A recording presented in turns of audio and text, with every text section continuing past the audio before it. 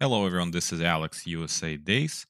So, uh, we're continuing with our QA journey. So, we already talked about the course and so the overview. So, today we get to the first module, and it's going to be probably the shortest one. But we will talk uh, about what is QA, what is quality assurance, and where it is needed. So, you will have uh, some understanding of the profession. Okay, so let's go. Um, what is QA and where it is needed? So QA stands for quality assurance. Goal of QA is to verify that specified requirements are met. So if there's a product, it has to have some requirements, what it should do, how it should do, how often it should do something, how much load can it take, and so on. So this is essentially the requirements that's being set in place when the product is being developed. Quality assurance is the process that makes sure that in the end, when the product is out, it is following all those requirements and it is as much as possible bug free. Okay. What are uh, QA engineers' duties? Well, they may vary uh, depending on the product because there are different industries, uh, and you can work in medical, you can work uh, in military, you can work uh, doing something for the government, uh, you can work for hedge fund, or you can work for real estate company all of those things they will differ depending on what product you will be testing around that business. That may, may be a web page uh, that may be testing their api or maybe something to do with their backend. That may be a wearable device so maybe you're wearing like a fitbit bracelet and you know measuring your steps stuff like that. So a lot of different things. So essentially your duties uh, will vary depending on the product but the main goal is to make sure that the product meets the requirements and has as few bugs as possible.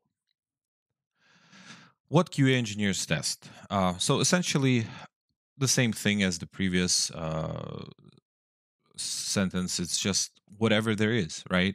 So almost anything that has code in it can be tested coffee makers nowadays, X-ray machines, web apps, smart devices, routers. You can test connectivity. You can test localization. So if the uh, a game, let's say, uh, translated correctly and it sounds okay in the national language that it's been translated to. Uh, you can test games, you can test mobile, you can test cars, you can test toasters. So essentially anything that has code in it. Um, some of you might not realize the scale how much uh, stuff has code in it nowadays, but almost anything you take has tons of code. For for example, let's take cars. Let's take a new car, your modern uh, new car, and I'm not speaking about Tesla, just your average uh, middle class, uh, brand new 2022 car, and the amount of lines of code in the car is staggering. It will be around 100 million lines of code. So essentially, you're driving a computer. You're not driving just the car. Um, and it goes with the other devices that are smart. There's a lot of code. So the more developed, the more products are being developed, and more products are in the market that have code and require ongoing support, the more QA jobs will be out there. Uh, so essentially, what that means. That means I don't think that quality assurance as a profession is going anywhere and it doesn't ma- matter if it's manual or automated because you can't automate everything right? Some of the things you have to move around you have to interact with them you can actually you can need to actually wear them or you need to put them in one place and then in another in your apartment maybe you're testing a router or something. So essentially i think uh, the the more we will the more products we will have that are developed in the states and the more products we will have on the market that uh, have ongoing support and new features added, the more QA positions uh, will be there. So QA kind of grows exponentially, uh, same as the industry of development and development jobs. Um, there, always talk about you know everything will be automated one day, or uh, there will be no more need for coders and programmers. Code will write itself at some point. But all of those things just seem too futuristic. It, it's not. It's not here yet. Uh, there are some codeless solutions for automation, but it's you still require a person to actually write those tests. Uh, so yeah, I don't. I I think the in in the matter of like how long we will have this uh, as a profession, I think it's for quite a long time. Still, it's going to be very in demand. Uh, so who hires QA engineers? I think almost every modern industry does. Uh, so small startups need QA engineers. Big corporations alike, they need QA engineers. Uh, we can talk about banking, real estate, gambling, government, medical, uh, gaming. The list really goes forever, on and on. Any modern industry, uh, any product that has developers or some something done by developers for that. For example, for real estate, you might have an app where you actually search for local listings and so on. This will too require testing. Uh, for your x-rays it will too require testing right if you go to a dentist and someone taking your your x-rays before you have this device there it's been thoroughly tested and it's been worked on and you know that all the outputs radiation outputs the imaging everything is correct so there's certain standards that had to go through and follow uh, certifications QA is needed. Almost, I mean, almost any industry that has something to do with code, there's some product or part of it has some code will require QA engineer. Uh, why hire QA engineers? Why not let developers test? Uh, that's not a question that people ask. And the thing is, with developers testing, um, if they knew where the bug is, they wouldn't write their software to have that bug. So, in the ideal world, you know, world, maybe they could write code that doesn't have any bugs.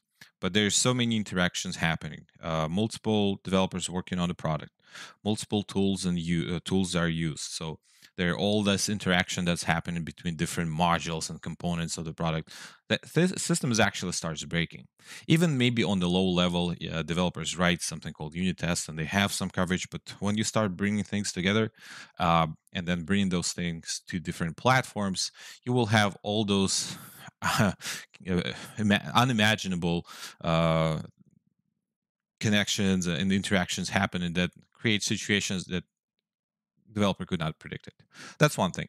The other thing is was developers. Uh, often enough, they you know their code is like their child in a way, right? So for them, it's kind of hard to find flaws in their own baby because they they made it and here it is.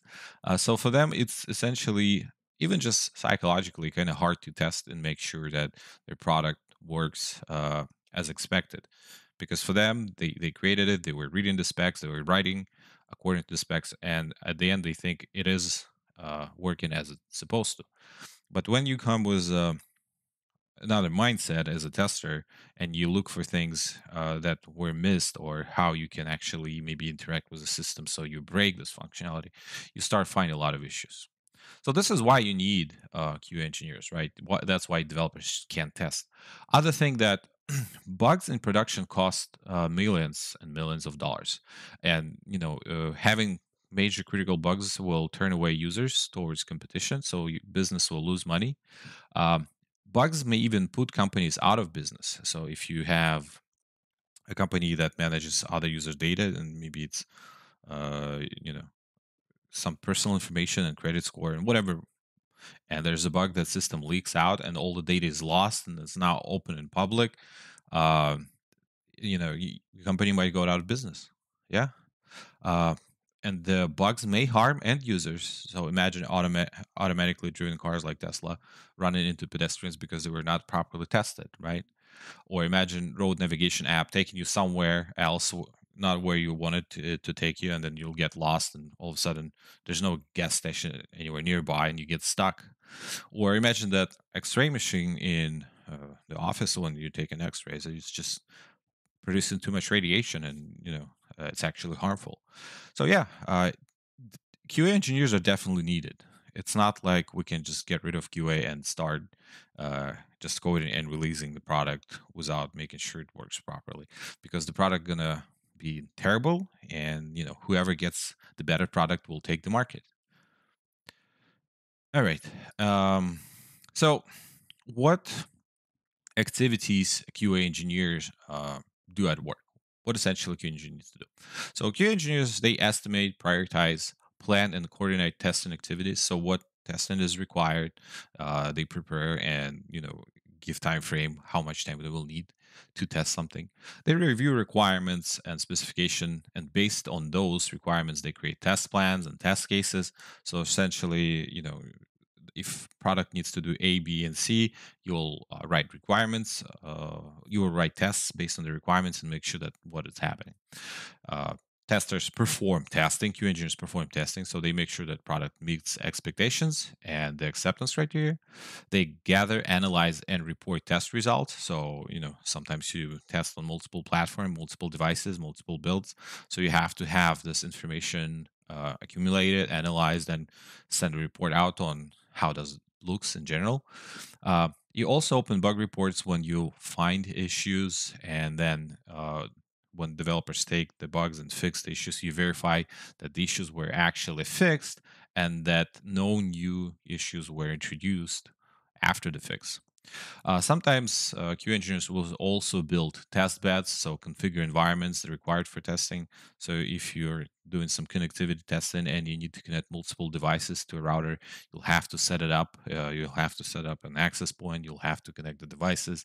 You'll have to measure throughput and so on. So uh, building test test beds could also be part of uh, QA engineers' responsibilities.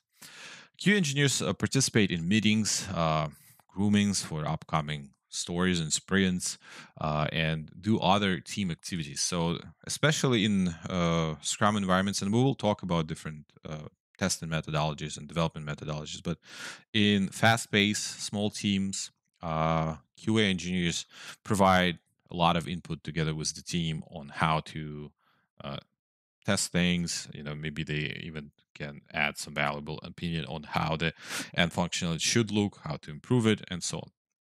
So, in a way, you can say that uh, QA engineers also serve as a connection layer between developers and product owners. I've seen that a lot through my career. So, you're essentially like a bridge to making sure that the requirements are read correctly and uh, implemented correctly, and there's no miscommunication between product owners and uh, developers. And you also, as a QA engineer, you add user perspective to requirements and suggest improvements. Uh, so that that's happening quite a lot too throughout my career. Uh, that is pretty much in a nutshell. Uh, as lo- uh, if you go into profession, become QA engineer, and start growing with the profession, then you know you will have other responsibilities as a QA automation engineer, or as that, or so-called software developer in test, or maybe you will even move into some DevOps positions from QA. But uh, that's how you start, and then the list of what you will be doing uh, as part of the team may grow. Uh, why choose quality assurance? Uh, I think quality assurance is unique because it gives you an opportunity to work almost in any industry that you want. So, from software development, like building mobile apps, uh, or working maybe on some uh, e-commerce web pages, into gaming, into medical. So, essentially, any industry that has any anything to do with code and has requirements for a product to be coded, uh, you can work there as a QA engineer. So you can choose a huge variety of places where to work in different industry. Uh, QA engineer is also a very good entry point into IT field. Um, it's not as extensive as coding. It doesn't require as much knowledge as a programmer would need. I mean, essentially, you want to understand some code, you want to be able to read some code, but you don't have to write a framework and you know build an app from scratch. It's completely different uh, level of skills that required for like proper development, right? Uh, so overall, if you want to work in IT fields and if you want to go into startups or work for bigger companies, maybe like Google or Apple or Amazon, uh, QA engineer is a very good position to start. Uh, really good position. Also, QA engineer, uh, as part of the IT world industry, uh, has great benefits. Has very competitive salaries, uh, a comfortable work environment. You can work from home in many places. Uh, I wouldn't say you would be making as much as developer. Maybe you'll be making a little bit less, maybe 10, 20%, sometimes 30%. It depends on the industry. But uh, I think overall, it's uh, just really, really good uh, in terms of payout. Uh, could be one of the best industries if you compare amount of uh, time and money re- required for education and then output of the profession and how fast you can get into the profession i think qa is in top 10 for sure. All right uh, and the last thing why i choose qa there's a lot of growth potential into and you can become qa automation engineer software developer in test you can do devops you can even uh, be a project manager or you can go into management. So as the more you work in the industry, the, the better you will understand it, and you will shine and understand what your personal strengths are, not only as a QA engineer but overall uh, what you can contribute in organization. Uh, you can definitely choose another path and switch, and QA gives you this opportunity. So, in a nutshell, essentially, uh, this is uh, what is QA and where it is needed. Hopefully this was helpful. If you like the video, hit like button. Please subscribe for more. Uh, this playlist will have all other topics up coming up. And we will have essentially all those blocks covered going forward. This was Alex USA Days. Thanks for watching and bye bye.